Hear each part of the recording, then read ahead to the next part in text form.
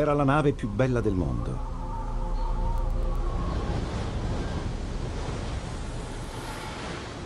Affondò in uno dei peggiori disastri della storia della navigazione. È il colpo, subito. Subito dopo i due fischi, subito l'urto. La gente sotto di me stava affogando e io potevo sentirne le urla. Sta virando, ci viene addosso. Devo salvare la nave o devo salvare i passeggeri? In realtà ha ucciso sua figlia. Credo che neanche i sopravvissuti sappiano chiaramente cosa è successo sull'Andrea Doria.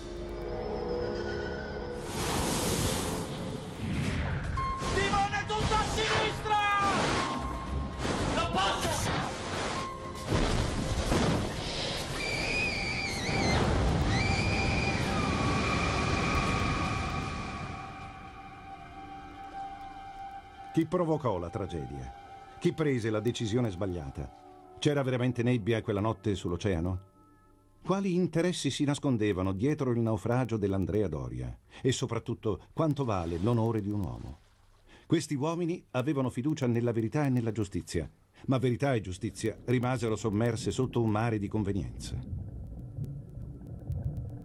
Spingersi qua giù è pericoloso. In pieno oceano Atlantico l'acqua diventa torbida all'improvviso e le forti correnti subacquee trascinano via. Ma c'è chi, alla ricerca di un tesoro, è pronto a spingersi al limite.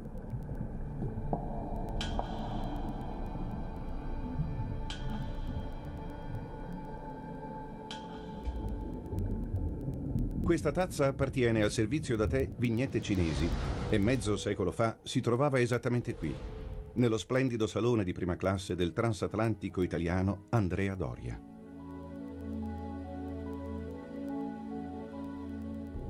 Come aveva fatto l'Italia a costruire la più elegante e invidiata nave del mondo appena pochi anni dopo la guerra?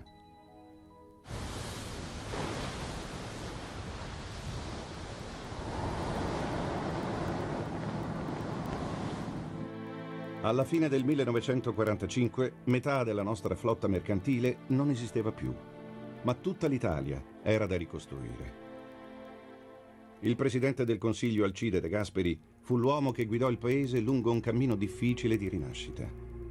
Una delle tappe fu il suo viaggio negli Stati Uniti nel gennaio del 1947.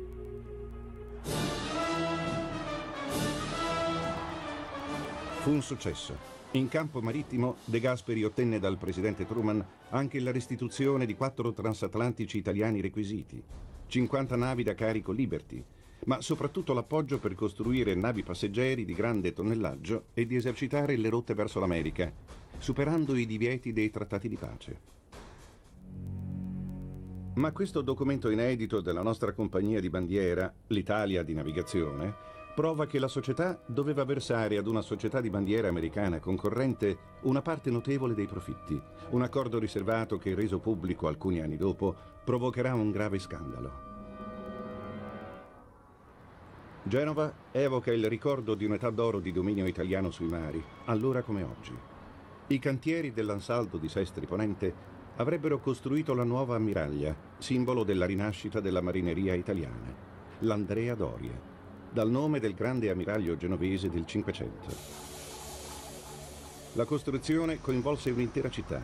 Si stava realizzando un transatlantico di concezione assolutamente nuova, non il più veloce né il più grande, ma il più moderno ed elegante. Le caratteristiche di sicurezza erano all'avanguardia e rispettavano addirittura i regolamenti internazionali non ancora entrati in vigore al momento della progettazione. Così ottenne le certificazioni anche dei registri navali inglese ed americano. Il 16 giugno 1951 lo scafo scivolò in mare davanti a migliaia di persone entusiaste. Fu un giorno di gioia e di riscatto. Ma un anno e mezzo dopo, quello che lasciò letteralmente stupefatti furono i suoi interni. L'Andrea Doria si rivelò uno scrigno di opere d'arte e artigianato.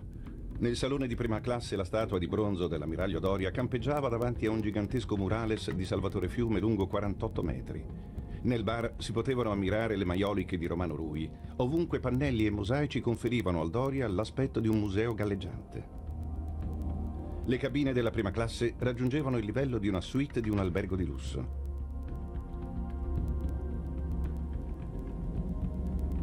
All'inizio del 1953 la nave è pronta per lanciare la sua sfida commerciale lungo la ricca linea che collega Genova a New York. Essere imbarcati sul Doria era subito diventato il traguardo di ogni giovane ufficiale di marina, come il terzo ufficiale Eugenio Giannini. Attraversare in divisa lo stupendo salone di prima classe per alcuni sarebbe rimasto soltanto un sogno. Per me era un sogno realizzato. Fare l'ufficiale sull'Andrea Doria era un- una cosa straordinaria perché era la più bella nave del mondo. Con il grado di secondo ufficiale si imbarcò anche Guido Badano. Certo, era la nave più prestigiosa che ci fosse, era una nave forte perché faceva il Nord America e elegante. Era la prima nave vera, una nave a turbina, una nave veloce, una nave robusta, agile. È il 15 gennaio del 53. Vediamo l'Andrea Doria ripresa da un aereo ormeggiata al molo di Napoli. Concluse le operazioni d'imbarco, alle prime luci della sera lascia il porto per il suo viaggio inaugurale. Queste sono le vere immagini di quel giorno, riprese mentre l'Andrea Doria sfila al cospetto del Vesuvio imbiancato.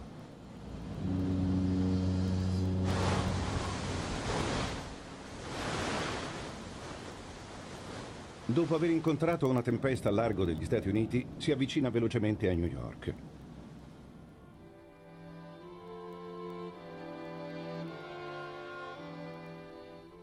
Oggi non è come allora.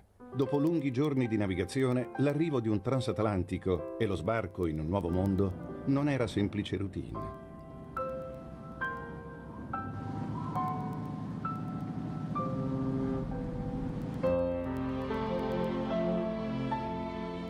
L'urlo delle sirene, la nave imbandierata con il Gran Pavese, le prime impressioni sulla terra, la presenza della stampa e delle autorità, il corteo di decine di barche, l'entusiasmo della gente, di chi aspetta sul molo e di chi saluta dai ponti.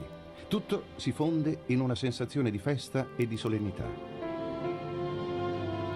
Questo primo arrivo dell'Andrea Doria è un vero evento e lo sarà ancora per molte volte in seguito. Quando il sindaco della Grande Mela, Vincent Impellitteri, sale a bordo, spetta al comandante italiano l'onore di un breve discorso e delle foto commemorative. Il comando dell'Andrea Doria è stato affidato a Piero Calamai, un uomo riservato ma con l'esperienza e il carisma necessari per guidare i quasi 700 uomini di equipaggio e 1200 passeggeri. Il comandante Calamai era un abilissimo uomo di mare. Io non l'ho mai visto nei mesi eh, durante i quali sono stato ai suoi ordini, non l'ho mai visto arrabbiarsi. L'ho sempre visto giudicare le cose con pacatezza, con eh, abilità, con giudizio, con buon senso. Era un uomo di buon senso ed era un gentiluomo nei modi e nei pensieri. Fin da giovanissimo, Calamai aveva ricevuto un'educazione marinara qui, nel club nautico Ligure di Sturla, vicino a Genova. La sua famiglia possedeva una casa proprio sulla strada principale affacciata sul mare. A 18 anni si era imbarcato, ricevendo in entrambi i conflitti mondiali una medaglia al valor militare. Aveva prestato servizio su 27 navi della Marina Mercantile, fra cui i grandi transatlantici. Alle soglie della pensione gli era stato dato il comando più prestigioso della sua straordinaria carriera.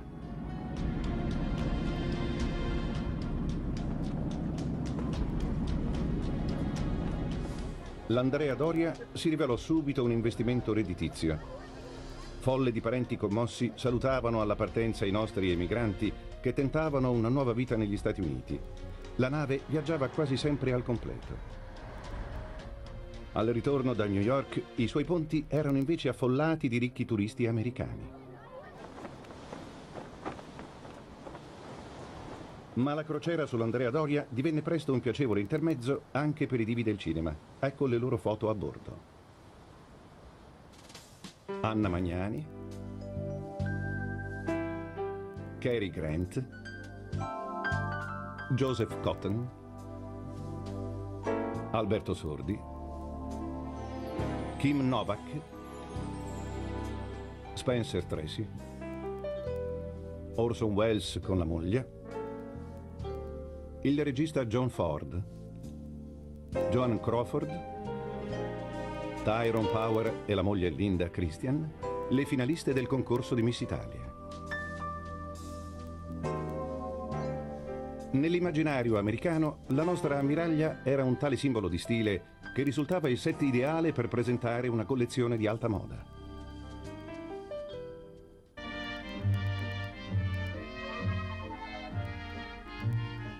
La bellezza trionfa sui ponti della nuova nave italiana Andrea Doria, dove sfila una moda di sapore internazionale, nuovi modelli e nuovi tessuti per gli abiti creati da Leonard Arkin. Se qualcuno gridasse uomo fuori bordo sarebbe solo per indicare un uomo colpito dalla bellezza di queste ragazze che indossano vestiti di grande eleganza, come ad esempio questo bolerino indossato su un abito stile marina, rifinito da un fez di velluto, impreziosito da una nappa. E lo show sta per prendere il largo. È il 17 luglio 1956. L'Andrea Doria, ormeggiata al porto di Genova, ha attraversato l'Atlantico lungo la rotta del Sole per cento volte. Tutto è pronto per il suo 101esimo viaggio. Il capitano Calamai, a pochi mesi dalla pensione, è candidato al comando della nuova ammiraglia Cristoforo Colombo. Forse, nella pallida luce serale, pensa che questa sarà per lui l'ultima traversata al comando dell'Andrea Doria. Ha ragione. Per lui e per il Doria sarà l'ultimo viaggio. Dante Galinari, insieme alla madre e al fratello, ha lasciato il paese vicino a Piacenza per raggiungere il padre emigrato in America.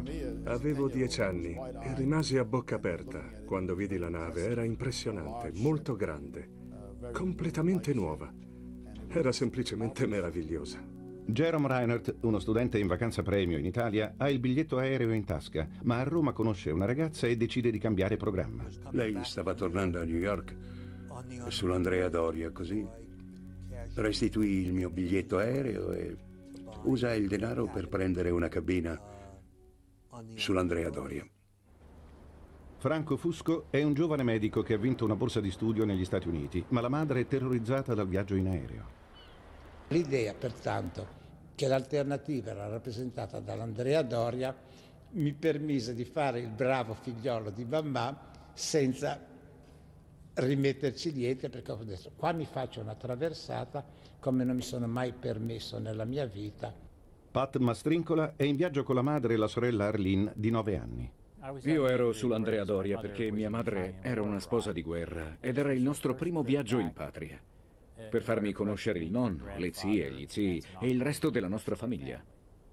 Liliana Duner ha una cabina di classe turistica insieme alla figlia Maria, di tre anni. Ero sull'Andrea Doria perché venivo qui in America a raggiungere mio marito, ero con mia figlia. Dove, dovevamo venire nel New Jersey a formarci la famiglia. Giovanna e Leonardo Paladino cercano fortuna nel nuovo mondo. C'avevo la, mia, la mia bottega in Italia lavoravo per conto mio, avevo due operai pure, ma una persona venne in Italia e mi disse a me vieni in America che farai i soldi. Con loro portano tre figlie piccole. Per Pierrette Simpson è invece arrivato il momento di rivedere la madre. Questa commovente foto documenta il loro addio avvenuto alcuni anni prima. Andavo verso un mondo nuovo, con i miei nonni che avevano dovuto vendere tutto. Avevano messo tutto nei loro bauli per andare nel nuovo mondo da una nuova famiglia.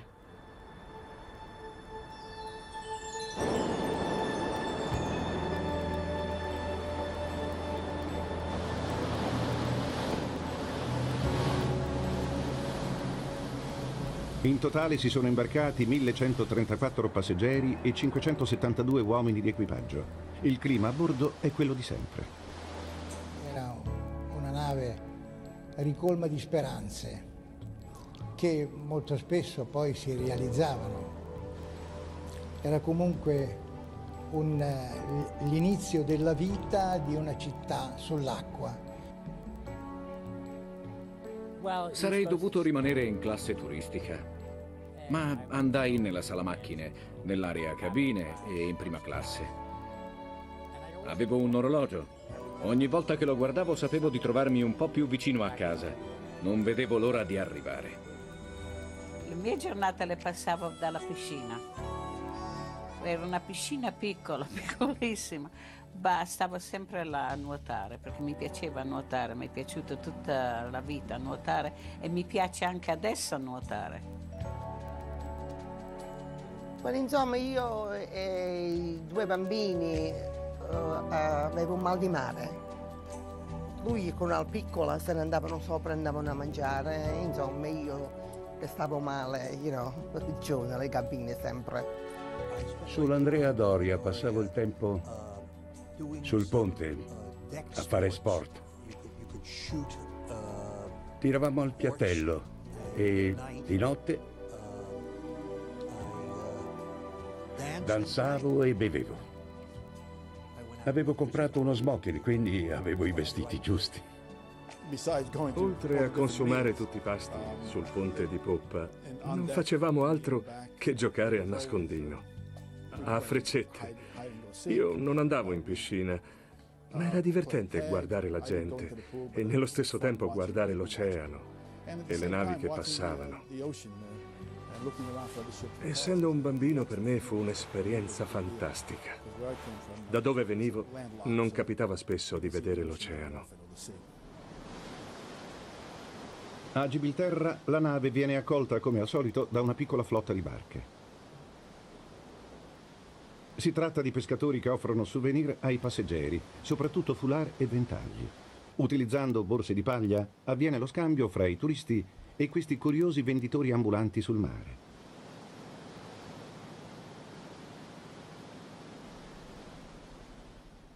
La rocca di Gibilterra ha sempre il fascino dell'ultimo lembo di terra prima del balzo verso il nuovo mondo. Piero Calamai osserva le manovre.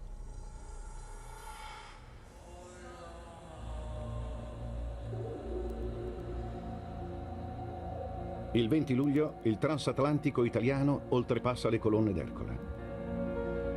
Una barca della capitaneria si allontana. I due marinai a bordo non possono saperlo, ma è la loro ultima occasione di vedere l'Andrea Doria.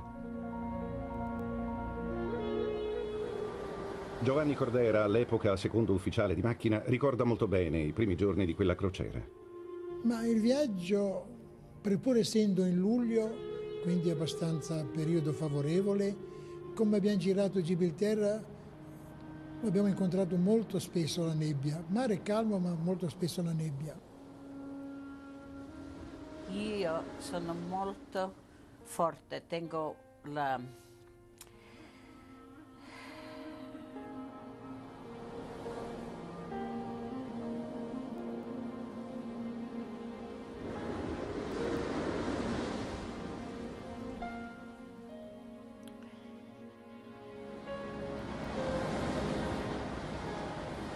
Mi sono sognata che ero io e mia figlia non sull'Andrea Doria, ma sopra il Cape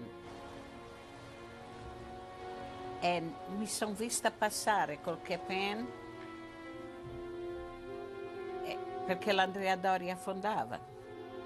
Quando sono andata a fare la colazione, eh, gli amici miei, la, la gente della tavola, Ce l'ho detto, non volevo mangiare. Ha detto vicino Liliana, ma perché non vuole mangiare? Ho detto no, non mi sento, mi sento strana, se perché se ho avuto un sogno. Ho sognato che l'Andrea Doria è affondata. Hanno riso, detto così, ma proprio adesso come eh, in, in, questi giorni moderni non mai succederà una cosa così, una cosa da ridere.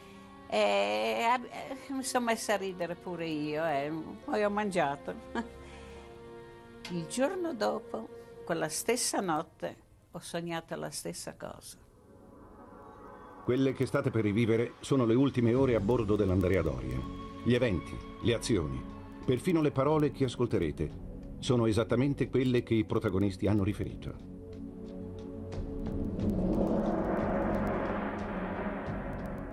Calamai è sul ponte di comando. È il 25 luglio 1956 era stato un viaggio buono, poi mese di luglio tante volte, però c'è l'inconveniente della nebbia, infatti avvicinandosi sulla piattaforma continentale americana eh, spesso si incontrava la nebbia e questa, quella volta lì l'abbiamo incontrata alle 3 del pomeriggio. Porte Stagni Oblò? Già chiusi. Bene, controllare le corazze ai ponti inferiori. Una vedetta di più a prora e mettiamo il segnale automatico sul fischio. Sì, comandante. Subito dopo Calamai chiama la sala macchine. Quel famoso pomeriggio navigavamo in attenzione per nebbia, vuol dire avere le guardie rinforzate, ridurre la pressione delle caldaie e disporre l'apparato motore in modo che se fosse arrivato un ordine di fermato o di riduzione fossimo pronti per seguire l'ordine. Pronto, c'è il direttorio il primo? Me lo passi per favore. C'è nebbia, Pazzaglia? Sì, riduciamo di 3 kg. Ci manteniamo sulle 22 miglia, anche meno. Ridurre la velocità per nebbia era obbligatorio. Si usava il buonsenso. Ma per tutti i comandanti gli orari erano imperativi per il buon nome della compagnia e non si poteva accumulare eccessivo ritardo. In cabina Dante Galinari si prepara all'arrivo a New York previsto per le 6 del mattino dopo, quando finalmente avrebbe rivisto il padre. Non avevo paura di incontrarlo, al contrario, non vedevo l'ora. Era tanto che aspettavo, ma non avevo paura, ero ansioso di vederlo. Navigavamo nella nebbia da, dal pomeriggio e ho trovato sul ponte di comando il comandante Calamai, il quale dal, dal pomeriggio, da quando si è messa nebbia, come sempre, era sul ponte di comando e non lo abbandonava mai. I cupi fischi per segnalare la presenza della nave in nebbia continuano da ore. In quello stesso momento la sua destinazione finale, New York, è avvolta nell'oscurità notturna. Proprio da qui, alle 11.30 di mattina, dal molo sulla 57esima appartenente all'America Swedish Line, una compagnia svedese, è partita la motonave Stockholm. Al comando c'è Harry Gunnar Nordenson, nato in America da genitori svedesi, un comandante con 36 anni di esperienza. Nordenson, come sempre, decide di far percorrere alla sua nave la rotta che passa a sud dell'isola di Nantucket prima di puntare verso il nord Europa. Lo Stockholm non è un transatlantico di lusso ed effettua un servizio misto passeggeri e cargo. È considerata una nave comoda e sicura. Pochi sanno che il suo punto di forza è la prua, uno sperone rinforzato per affrontare i ghiacci del mare del nord. Anche lo Stockholm è dotato di radar. In plancia ci sono tre giovani marinai che si alternano al timone, fra cui il 26enne danese Peder Larsen. In questa sala nautica l'unico ufficiale in servizio sta cercando di calcolare il punto nave. Si chiama Johan Ernest Carstens Johansen, che tutti chiamano semplicemente Carstens. Ha solo 26 anni, ma viene ritenuto un marinaio affidabile. È alla sua quarta attraversata con lo Stockholm. Il comandante gli ha impartito istruzioni chiare di chiamarlo al momento del passaggio della nave faro di Nantucket, di non incrociare navi a meno di un miglio e di avvertirlo in caso di nebbia. Ma per Carstens il cielo è limpido, nonostante i bollettini che riportano nebbia fitta nell'area. Una situazione che non preoccupa gli ufficiali del Doria. Noi avevamo due radar. Il Raytheon era un radar proprio ultimo modello. Quando io sono smontato di guardia avevamo superato una nave di cui si erano sentiti i fischi. Sono montato di guardia alle 8 sul ponte, ho ricevuto le consegne dal capitano Badano. Tutte nella nostra direzione. Una l'abbiamo passata un'ora fa. Grazie, buon riposo. Buon lavoro. Come sempre in quella zona di mare è un po' il, la Times Square dell'Atlantico, per cui c'erano diverse navi intorno a noi, ma erano t- tutte sotto controllo perché erano ben segnalate nel radar. Sono le 22.04. Carstens si è accorto che lo Stockholm è due miglia più a nord del previsto, sia perché Larsen non timona con la necessaria precisione, sia a causa della corrente. Il passaggio a sud della nave faro di Nantucket fa parte di un'insidiosa routine. Nel passato questo battello di segnalazione è già stato speronato diverse volte e da appena sei mesi è stato spostato dopo quasi un secolo. Intanto, esattamente all'ora prevista, sul ponte di comando dell'Andrea Doria si sente il lontano muggito della nave faro.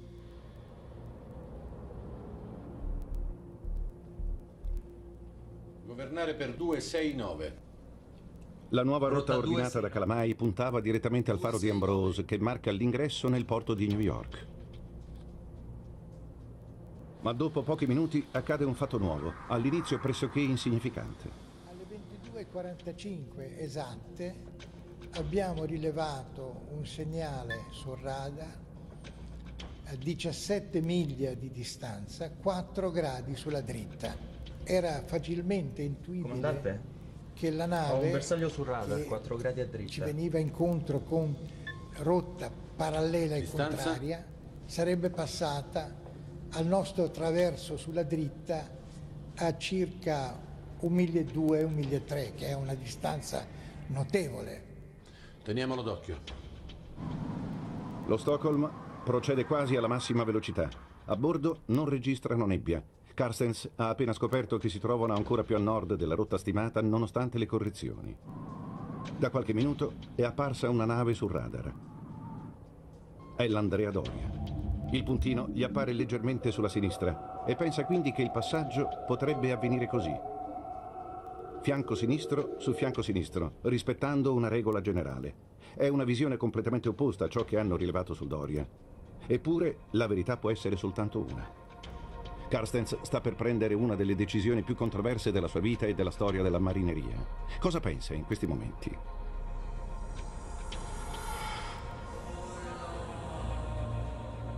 Forse alle istruzioni del capitano Nordenson di non passare mai a meno di un miglio da una nave? Oppure all'ordine di chiamare il comandante in caso di necessità? È preoccupato perché non ha ancora avvistato la nave faro? Non lo sapremo mai. Sappiamo solo che impartisce un ordine secco, virare 22 gradi a dritta, cioè a destra. Sull'Andrea Doria la situazione viene seguita costantemente ma senza preoccupazione. A un certo momento, alle 23.05, il comandante Calamai, proprio per un eccesso di prudenza, ha dato al timoniere una rotta. 4 gradi a sinistra. Calamai per sicurezza vuole incrociare l'altra nave a una distanza maggiore. Ormai mancano soltanto 120 secondi alla fine, quelli che state per vedere. Distanza?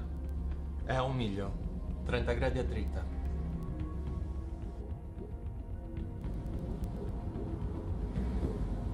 Mi sono portato sulla letta del ponte di comando in modo da cercare di udire i segnali che obbligatoriamente una nave che si trova a navigare in nebbia deve emettere. Non capisco perché non li sentiamo. Ma perché non fischia? Perché non si sente? Deve essere laggiù.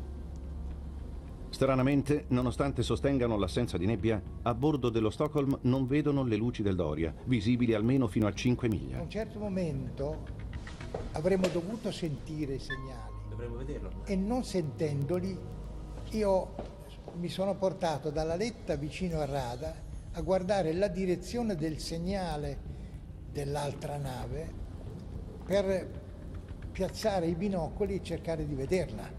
Eccola. La vedo. Nella densa foschia, Giannini vede baluginare le luci bianche dell'altra nave. La vedo anch'io. Franchini, la vediamo! Nel mentre il comandante dice queste parole, io ho di nuovo i binocoli puntati sull'alone e sulle luci e mi rendo conto che in quel momento In quel momento emerge una luce verde e poi una luce rossa che indica chiaramente che Sta accostando! Ci viene addosso! Ci viene addosso! e grido ci viene addosso, sta virando, ci viene addosso. Mi sono portato al centro del ponte di comando per avere dei riferimenti. lo Stockholm è a circa un miglio e mezzo e avanza alla massima velocità. Sono attimi, le decisioni bisogna prenderle subito. Calamai sa che dalla sua decisione dipende la vita di quasi 2000 persone. Decide di giocare la migliore carta che gli rimane in mano. L'unica speranza che avevamo era quella di fuggire Timone tutto a sinistra! Il timoniere compie la virata più brusca possibile, a tutta barra. Comandante, le macchine... Non le tocchi! Ci serve tutta la velocità! Contare sulla nostra velocità per fuggire dalla collisione. Poco dopo anche Carstens si accorge con terrore che qualcosa è cambiato. Un enorme transatlantico sta per sbarrargli la strada. Decide di scappare virando a destra.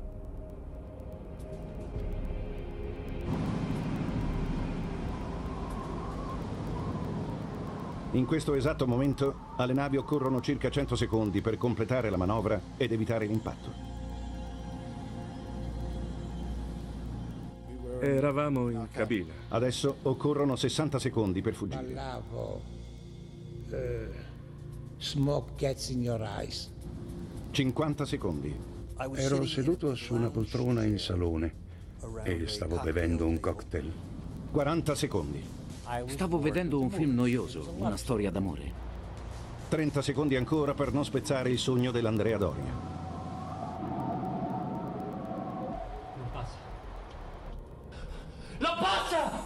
Soltanto ora Carstens dà l'ordine di indietro tutta per arrestare lo Stockholm.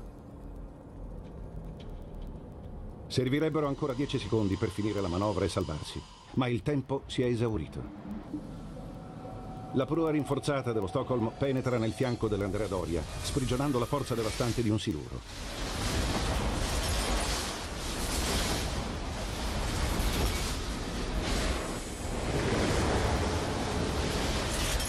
I ponti cabine del Doria sono stati sventrati con violenza incredibile.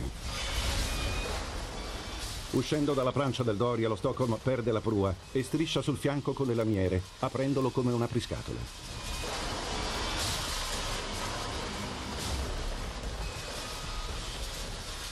Scintille, scintille, scintille, scintille.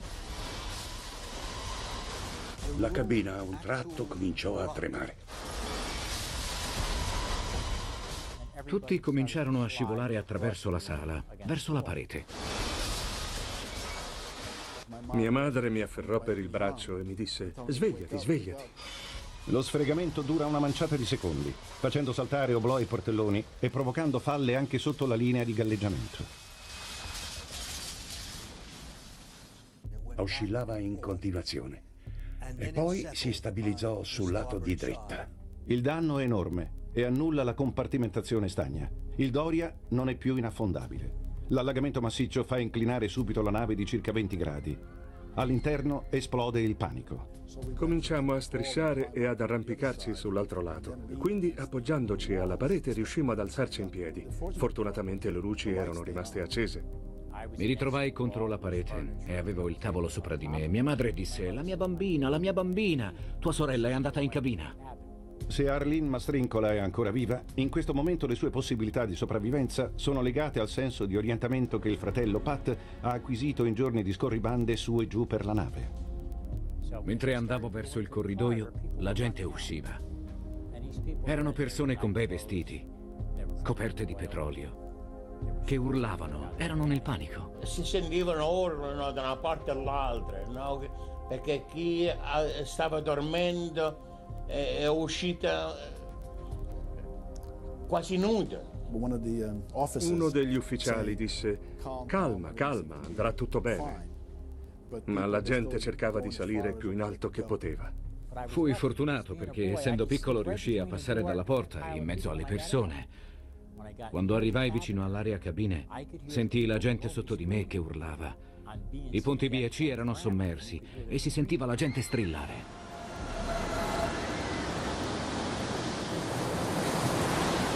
Sul colpo e nell'allagamento muoiono 43 persone. Fra loro i coniugi Thierry. Il figlio Peter, illeso a poche cabine di distanza, lo scoprirà soltanto in seguito. La famiglia Sergio non esiste più. Raggiungevano il capofamiglia emigrato. Il corrispondente del New York Times in Spagna, Camille Cianfarra e sua figlia. Ma sul ponte di comando bisogna pensare ai vivi e Calamai deve affrontare il primo dilemma di questa terribile notte. C'erano due cose sulle quali doveva prendere una decisione. Doveva salvare la nave o doveva salvare i passeggeri. Quello che poteva fare era cercare di muovere la nave, portarla sui bassi fondali dell'area di Nantucket Sound e lì cercare di farla incagliare.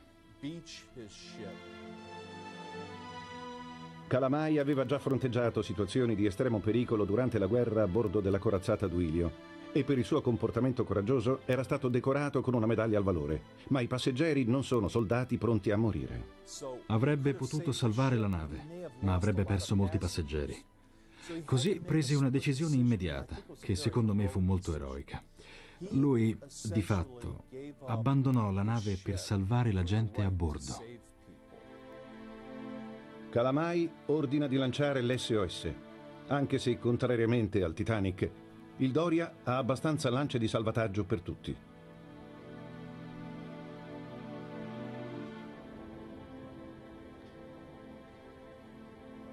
Ma la drammatica inclinazione ha provocato una terrificante conseguenza.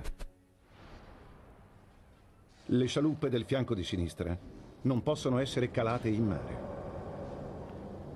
marinai che spingevano le lance, ma queste non andavano, si dovevano scendere per gravità, ma erano praticamente con l'inclinazione che c'è stata, erano appoggiate sulla nave. Solo una parte delle persone a bordo può essere messa al sicuro sulle lance. Che cosa ne sarà delle altre? Dalla nebbia arrivano numerose risposte all'SOS, ma una sola può salvare la vita di centinaia di persone. Il transatlantico francese Ile-de-France è in rotta verso l'Europa già in pieno oceano. Il comandante barone Raoul de Baudin decide di invertire la rotta. Avvisa però che non sarà sul posto prima delle 3 del mattino. Il Doria resisterà così a lungo? Lo scafo continua ad inclinarsi, mentre dai ponti inferiori si cerca una via di scampo. I sopravvissuti ancora non sanno che le scialuppe non bastano per tutti. Se si diffonde il panico, è l'inferno. Attenzione, attenzione. I passeggeri devono raggiungere i punti di riunione indossando i giubbotti salvagente e mantenendo la calma. Attention please, passengers must reach their master station. Che arriva la grande saggezza del comandante Calamai. Comandante, do l'ordine di abbandonare la nave? No.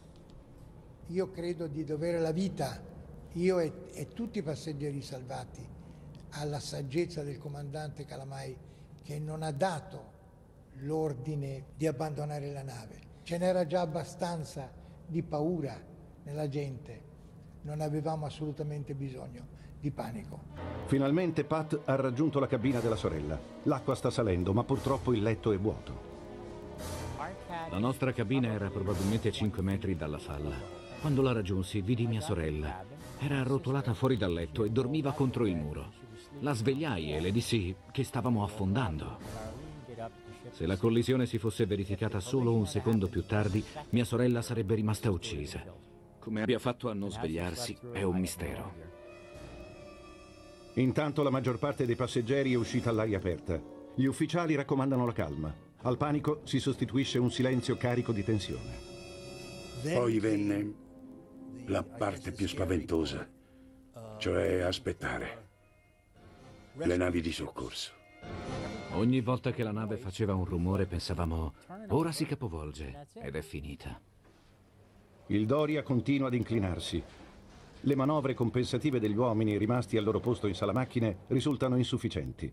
L'acqua entra da sopra le paratie stagne intatte, allagando tutto. Ormai è solo questione di tempo. Chissà come andrà a finire. Se un, la nave affonda presto o c'è tempo poi mia figlia mi ha detto mamma devo andare a fare la pipì. Ha detto, well, falla qua, io non ti lascio. Falla addosso, ma non lo vuoi, cominciato a piangere.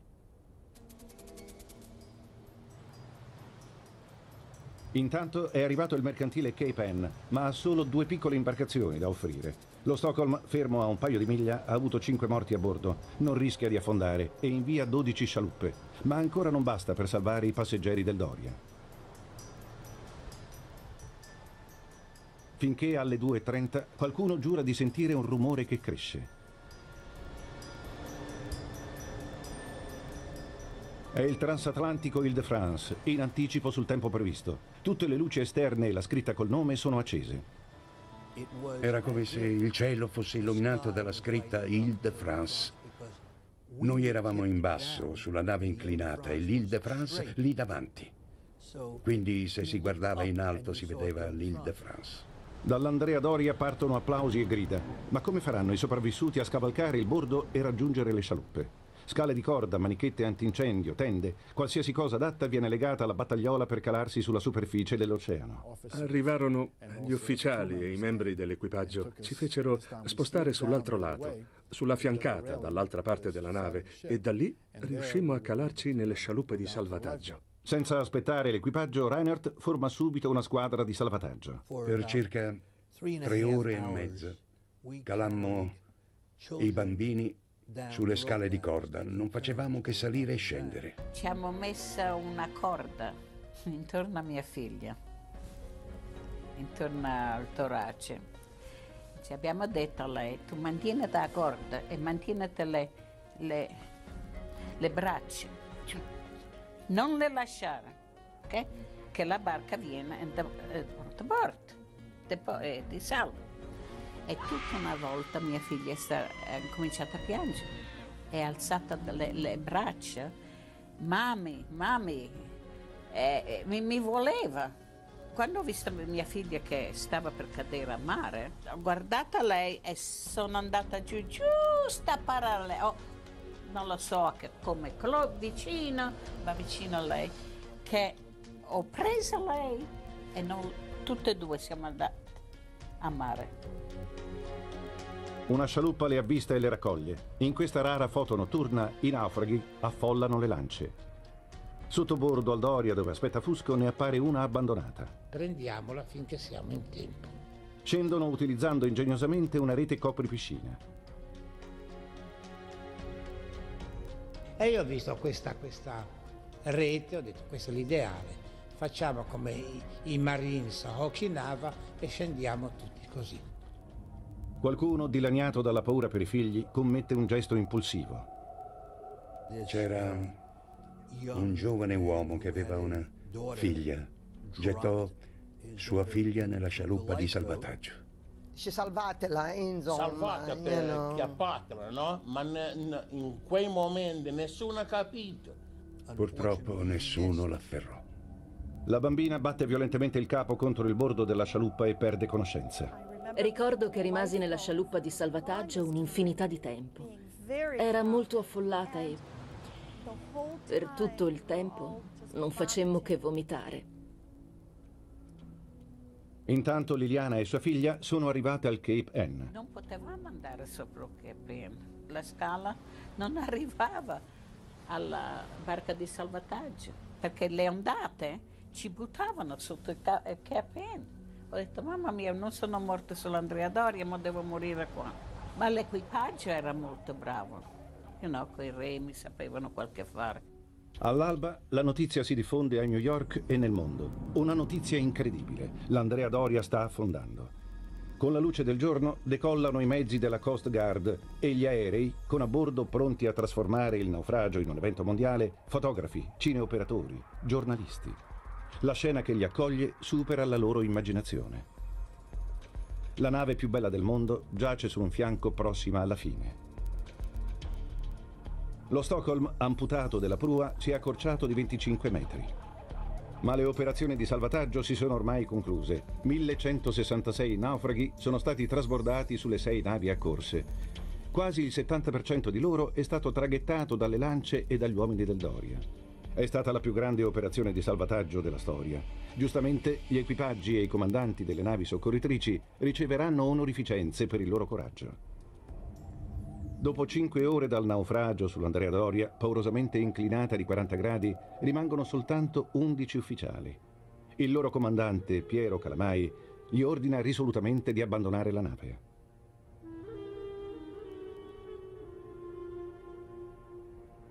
siamo scesi nella lancia, il comandante Calamai è rimasto a bordo, ha detto allontanatevi, state qua vicini comunque che all'ultimo momento io verrò con voi. Solo ora Badano ricorda una frase di Calamai apparentemente inspiegabile. Il comandante mi dice guarda se tu andrai a Genova vai dalle mie figlie e digli che io ho fatto quello, quello che dovevo fare. Badano, quando torna a Genova, dica a mia moglie e alle mie figlie che ho fatto tutto il possibile e che voglio loro tanto bene. E ho fatto, ho agito bene, ecco, io sono tranquillo con quello che ho fatto.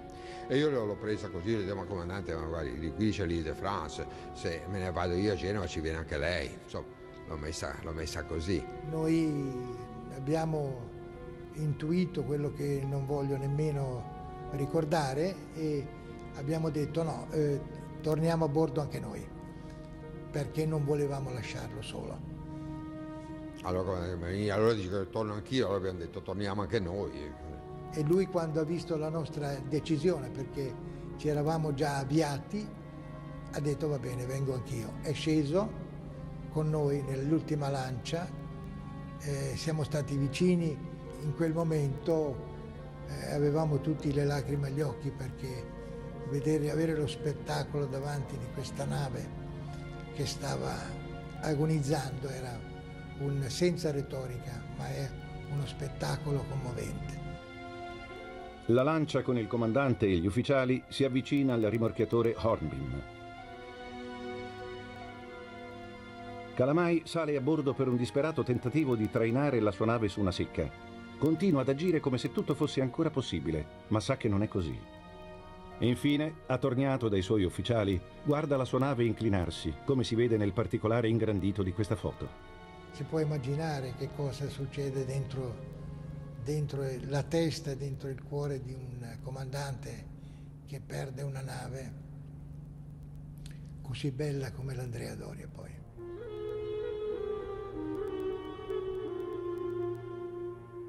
È giunto il momento della fine. La falla sul fianco è quattro volte più grande della massima falla standard prevista dai regolamenti internazionali perché una nave resti a galla. Io non credevo che quella nave doveva affondare.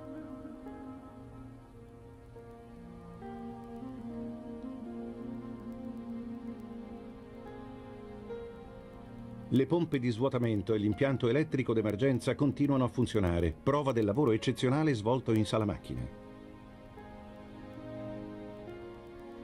È qualche cosa che prende dentro e non si riesce a tacitare,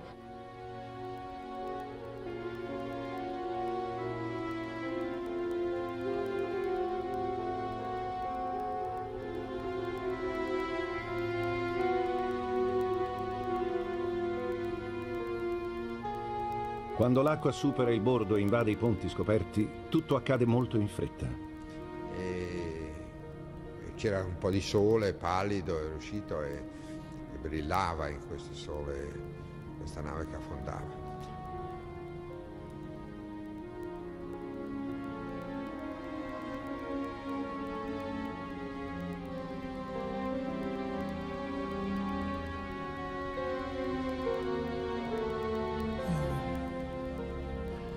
Qualcheduno si è alzato e ha fatto il saluto militare.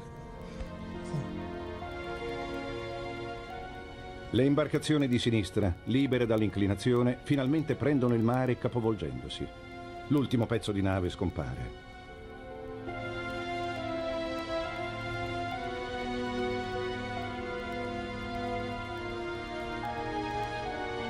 Il gorgo si chiude sul transatlantico più bello del mondo.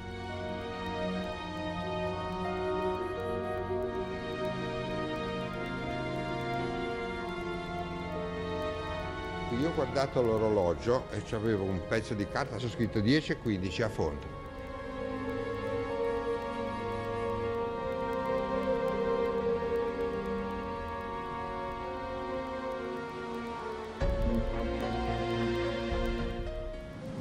L'Île de France viaggia verso New York. Qualche naufrago è ancora incredulo di essere vivo. Una famiglia al completo saluta felice. Per i Paladino è un momento terribile testimoniato da questa foto. Hanno scoperto che una delle figlie risulta dispersa. Sull'Île de France ho trovato due dei miei figli.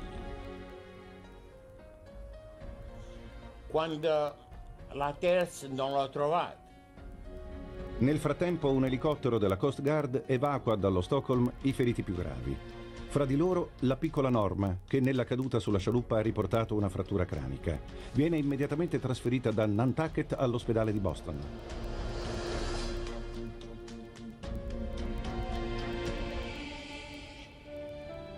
Il grosso dei naufraghi arriva al porto di New York, dove tutto è pronto in un hangar allestito dalla Croce Rossa. Fra gente che si cerca avvengono i primi commoventi incontri fra sopravvissuti e parenti.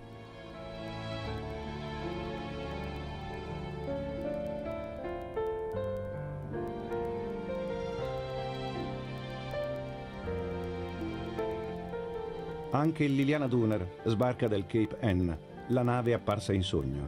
In braccio Porta Maria, salvata dalle onde dell'oceano.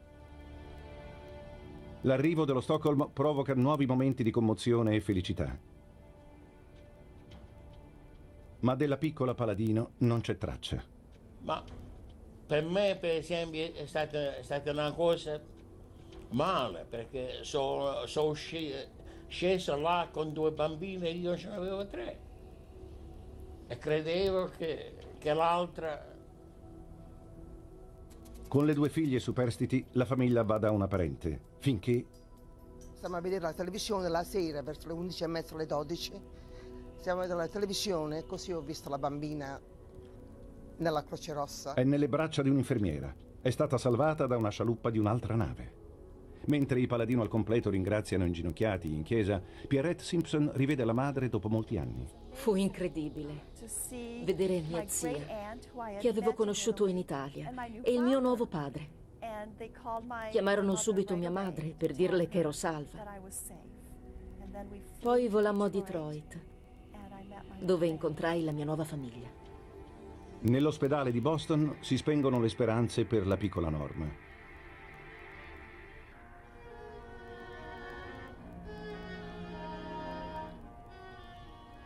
Al momento dello sbarco, il volto di Calamai non ha bisogno di commenti. Genova, giovedì 26 luglio. La prima notizia è giunta alla sede della Società Italia. L'Andrea Doria e la Stockholm sono entrati in collisione alle ore 4.20 di stamane a circa 200 miglia dal porto di New York. La marineria italiana non ha più l'Andrea Doria. Un pezzo d'Italia se n'è andato, con la terrificante rapidità delle catastrofi marine, a New York comincia la battaglia sulle responsabilità della collisione. Sono in gioco interessi enormi. Dal punto di vista dei media, dal punto di vista della, della comunicazione, furono più abili gli svedesi, direi, che riuscirono a, ad attrarre più simpatia della società Italia. Questo non c'è dubbio. Fin dall'inizio la società Italia impone ai suoi uomini prudenza e silenzio. Questa strategia si rivelerà disastrosa. I giornali pubblicano foto del genere dove gli italiani appaiono colpevoli, mentre gli svedesi organizzano incontri con la stampa e lanciano accuse. Questi documenti inediti mostrano che l'Ufficio americano di pubbliche relazioni consigliò più volte di reagire alle campagne diffamatorie innescate dagli svedesi nei confronti del nostro equipaggio. A Genova, nel quartier generale, si preferisce aspettare il processo. Lentezze burocratiche e paura di pubblicità negativa bloccano qualsiasi reazione. Intanto gli armatori svedesi e italiani si accordano riservatamente per far svolgere il processo a New York. La legge americana vieta di aprire altre costose cause in tutto il mondo. I proprietari delle due navi chiedono al giudice americano di beneficiare della limitazione della responsabilità per i danni.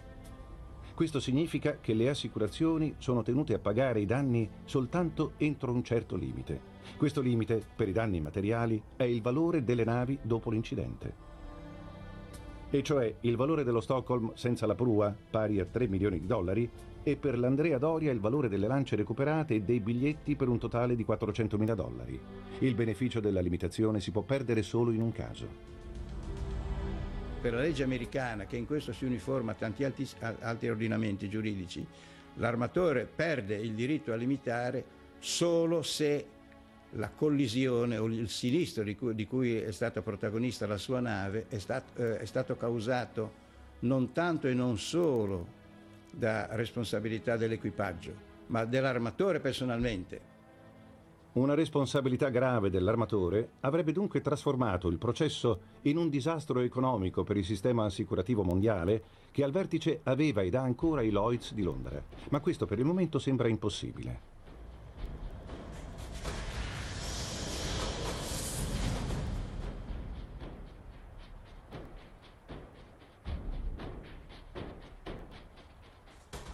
Le udienze preliminari al processo vero cominciano nel palazzo di Foley Square.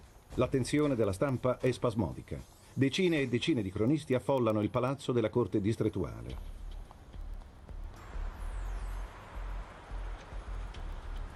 Per risolvere il caso bisogna trovare risposta a quattro interrogativi. È stato lo Stockholm a speronare il Doria con una manovra improvvisa, come sostengono gli italiani? Oppure è il Doria che ha tagliato la strada alla nave svedese.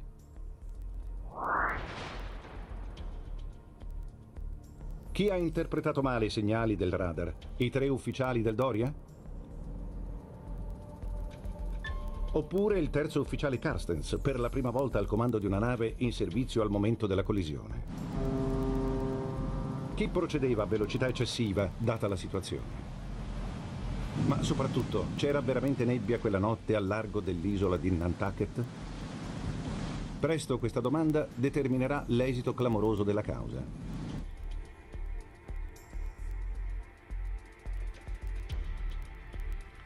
Eugene Underwood era uno degli avvocati marittimi più in vista e aggressivi di New York.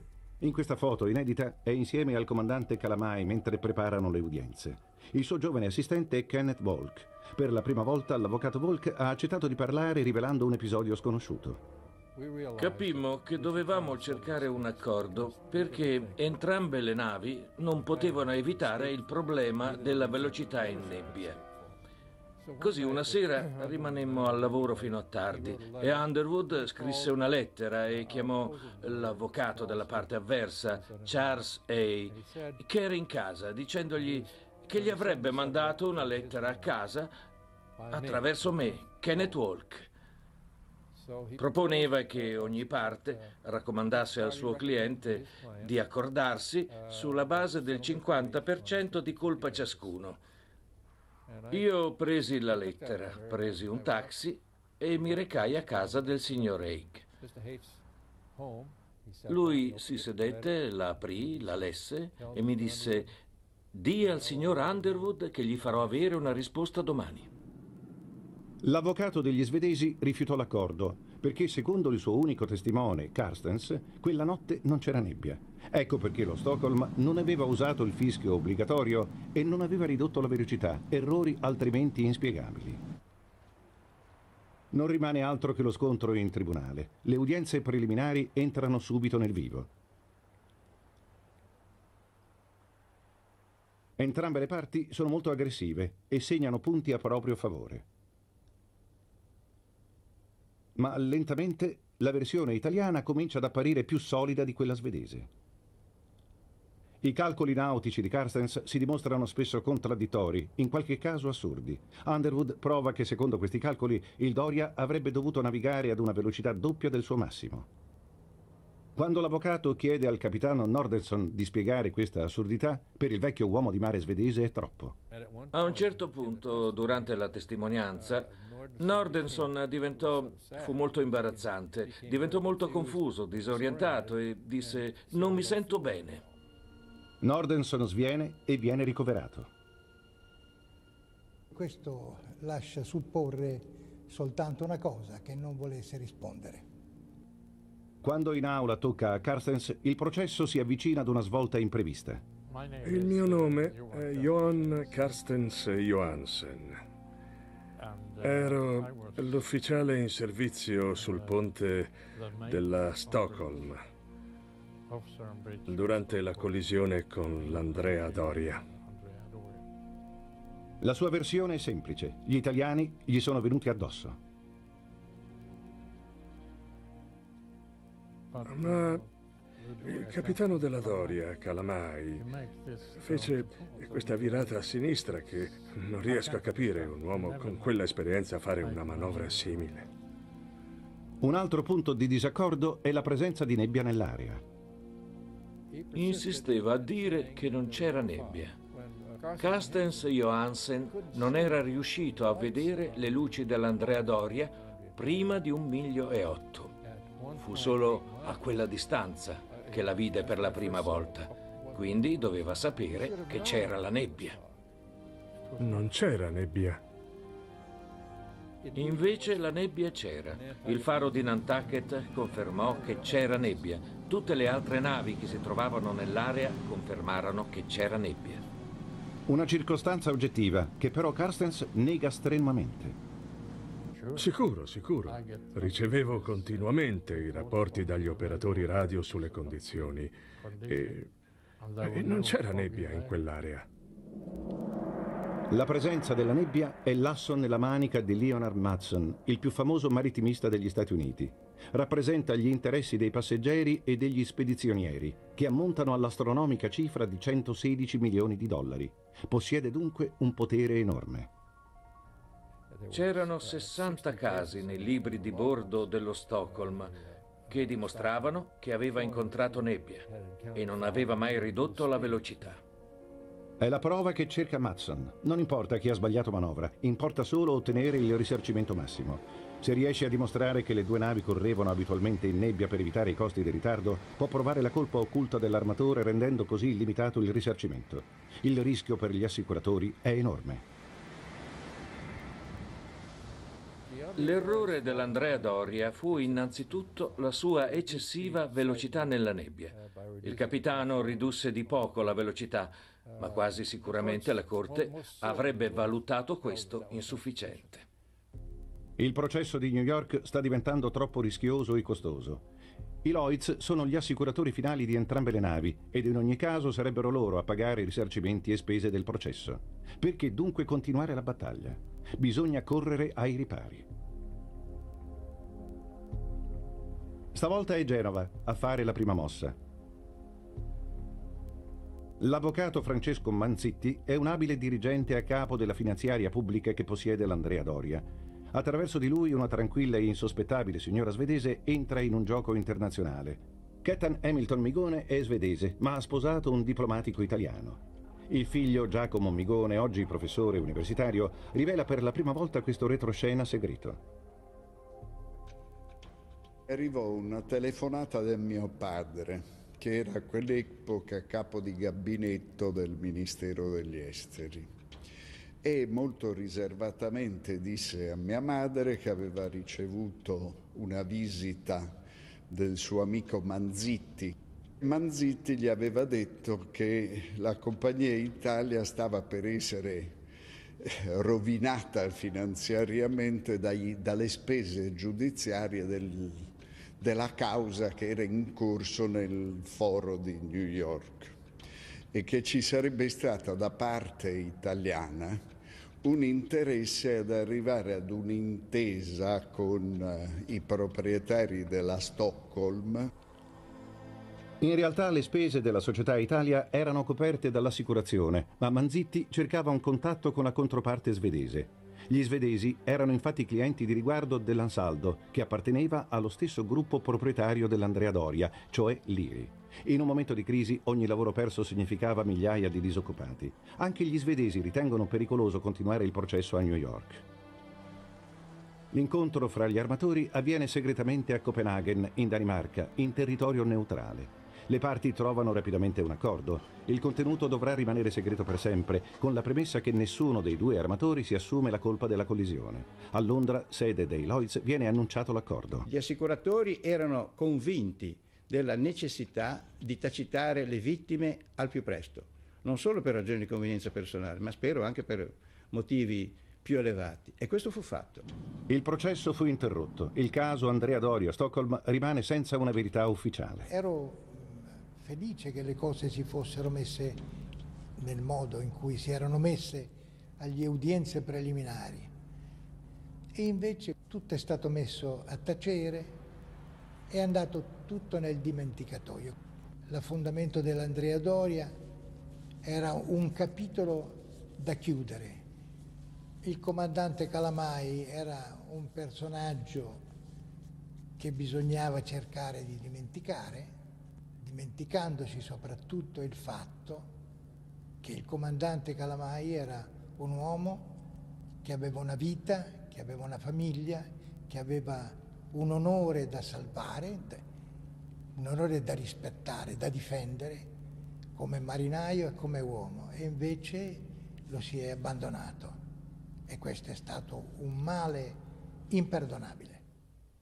Il comandante Nordenson riprese a navigare ricevendo l'onore di comandare la nuova ammiraglia, la Gripsholm, costruita, guarda caso, proprio nei cantieri dell'Ansaldo. Ma dovette rinunciare ad imbarcarsi a Genova, perché i lavoratori del porto non permisero questo affronto. Un nuovo comando avrebbe avuto un significato importante per Piero Calamai. Confidenzialmente venne a sapere che si temeva una cattiva pubblicità. Nonostante le promesse formali provate da questo telegramma della compagnia, non navigò mai più. Da decenni i subacquei sfidano le forti correnti e gli squali per esplorare il relitto dell'Andrea Doria, spogliandolo dei suoi tesori. Oggi le strutture superiori della nave sono crollate ma una spedizione compiuta nel 1988 godette di un'eccezionale coincidenza di fattori fortunati. La guidava David Bright. Dalla prospettiva di un sommozzatore, l'Andrea Doria rappresentava il monte Everest delle immersioni. Ci immergemmo verso la fine del mese di agosto, molto più tardi di quando normalmente ci immergevamo in quell'area. Quando raggiungemmo il punto in cui si trovava il relitto, l'acqua era di un blu cristallino, di assoluta bellezza. I sub non credevano ai propri occhi. Lentamente appariva il profilo della nave coricata sul fianco destro. Per alcuni momenti il sogno del Doria sembrò rivivere.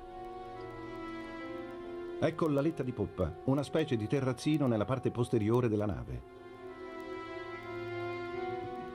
Queste assomigliano alle reti che furono usate dai passeggeri per raggiungere le lance di salvataggio.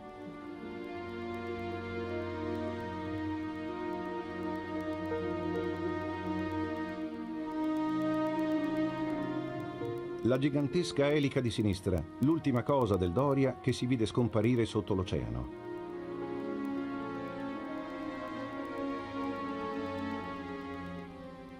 Gli ariosi ponti esterni, dove si poteva passeggiare al sole.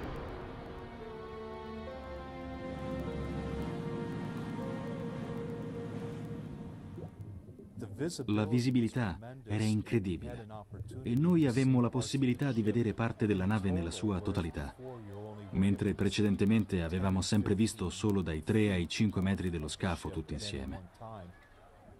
Con le immersioni riuscimmo a scoprire una cosa molto importante, e cioè che la Stockholm aveva inflitto molti più danni di quanto si immaginava.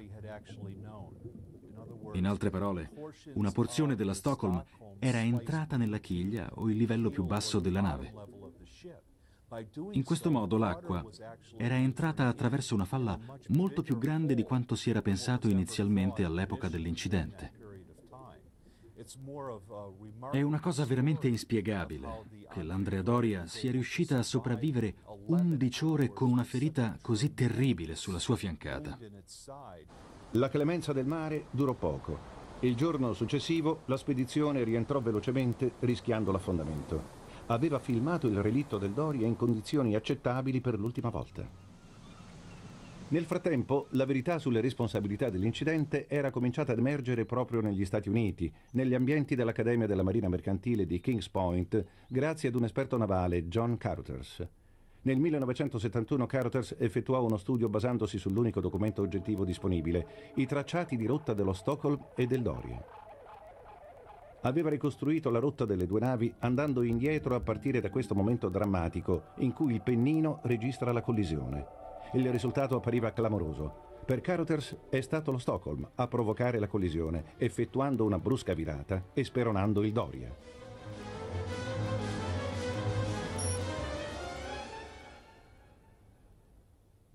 Al timone della nave svedese quella sera c'era Peter Larsen, un timoniere non molto affidabile, come ricorda lo stesso Carstens. Come ho sempre detto anche al processo, bisognava tenerlo d'occhio. Si guardava un po' troppo attorno. Larsen dunque timonava in modo impreciso, perdendo spesso la rotta. La conseguenza fu che il raggio del radar faceva apparire il Doria una volta a destra, una volta a sinistra. Prima della collisione, l'ufficiale svedese vide la nave italiana a sinistra, mentre in realtà avanzava verso di lui sulla destra. A ciò si aggiunse un'altra incredibile disattenzione. Carstens credeva che il radar fosse tarato sulle 15 miglia. Non si era accorto che qualcuno, o lui stesso, aveva spostato la manopola sulle 5 miglia. Quindi la distanza che lo separava dall'Andrea Doria era molto minore di ciò che pensava. A un certo punto lo svedese, credendo che la situazione fosse questa, decise di togliersi d'impaccio virando bruscamente a destra. Cioè in realtà esattamente contro la nave italiana.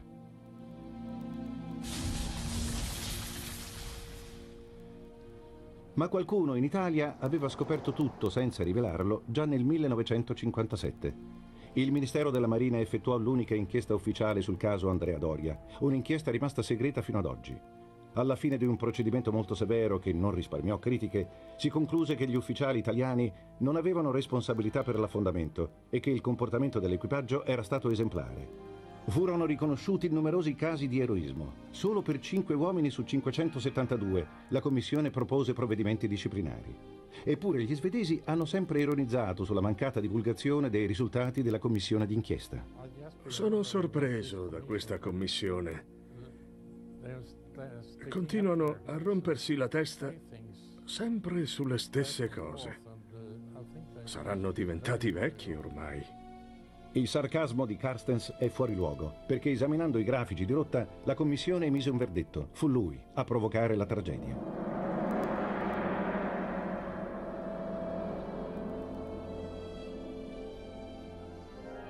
I risultati non furono mai divulgati. In fondo la verità non conveniva a nessuno. All'Accademia di Kings Point questa verità viene insegnata ai cadetti ed è stata confermata dagli studi del capitano Mern. Non ho alcun dubbio. Io credo che Carstens Johansen abbia interpretato male il radar. Questa è l'unica spiegazione logica che posso trovare per la collisione. Nell'aula di Mern campeggia una foto a colori di Piero Calamai. Penso sia stato esemplare. Mi dispiace per l'uomo, credo che fu incolpato ingiustamente, ma credo anche che quello che fece fu straordinario. Piero Calamai condusse l'ultima parte della sua vita in modo molto riservato, godendo delle gioie familiari, ma duramente provato dalla tragedia del Doria. Nel marzo del 1972 Carothers gli scrisse una lettera comunicandogli i risultati degli studi che lo scagionavano completamente e concludendo con queste parole. Stia sicuro, comandante Calamai, che ci sono molti di noi che sarebbero onorati di servire sotto il suo comando in ogni momento.